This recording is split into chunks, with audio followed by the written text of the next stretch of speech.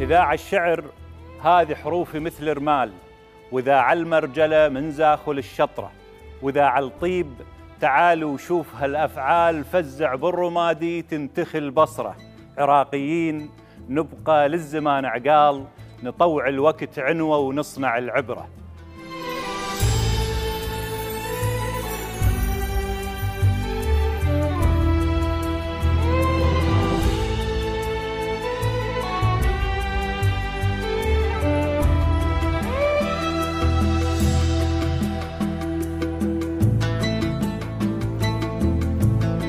حياك الله أبو علي. يا أهلا.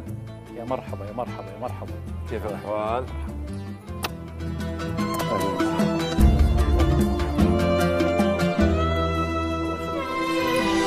شرفتنا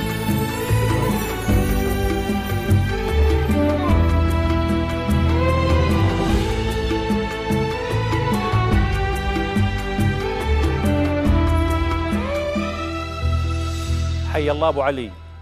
منورنا اليوم ومليون مرحبا بك. الله يخليك تسلم. نجي على الديرة على ديرتك. أي. أنت من الناصرية. أي. هذه المدينة العريقة اللي اخرجت لنا الكثير من المبدعين في كل المجالات. أي. شلون علاقتك بالديرة؟ هو هذا سؤال طبعا أكو أحيانا يقو- يقولون سؤال سابق لأوانه. يعني وهل تعتقد أني أقدر أشرح لك شنو علاقتي بالناصرية؟ لازم. راح أختصرها لك بين لذلك قوسين. صح. اختصرها لك بين قوسين. أنا والناصرية مثل الجسد والروح. يعني ربما أنا الجسد والناصرية الروح أو أنا الروح والناصرية الجسد. ومو كل واحد يمتلك هاي الحالة طبعا إلا من آه، ملتصق بروح الوطنية في ل- ل- للبقعة الجغرافية اللي انولد بها وعاش بها صحيح. بس داخل يقول إي. الله يرحمه إي. يا حضيري بطل النوح. وهجع شوية. واهجع شوية. متى يهجع حسين نعمة؟ كثير الشكوى. لا لا لا لا لا هي لما الإنسان يكون كثير الشكوى أو متعدد أحيانا يختلف معنى ال- الكثير والمتعدد صح أو يكرر الشكوى الكثير. لا مو لهالدرجة أنا يعني.